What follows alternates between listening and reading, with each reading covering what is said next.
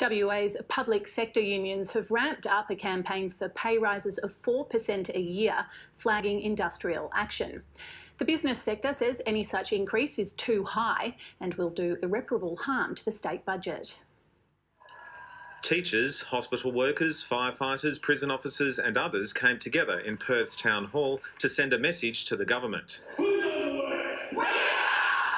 At The gathering of union members today is really to highlight to government that public sector pay has been going backwards for too long. It's been failing to keep pace with the increasing cost of living. Unions want 4% a year for the next two years, or a flat $2,500, whichever is greater.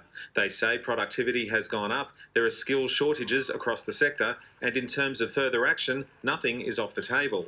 What they need is real bargaining and real wages growth. Wages growth that helps them put food on the table and that keeps them in their jobs. It's critical that the government delivers on this. In a statement, the Industrial Relations Minister says the review of the wages policy is underway. Submissions have been received from unions, Unions WA, and the WA Chamber of Commerce and Industry. The Chamber of Commerce has called for restraint. It says while the state budget might be healthy now, that won't necessarily last. This is a budget wrecking proposal that will cost the budget billions of dollars and wreck the state's finances for years to come. Mr Morey says owners and operators of small and medium businesses expect tax revenue to be spent wisely. Unions say they want a decision from the government soon. David Weber, ABC News.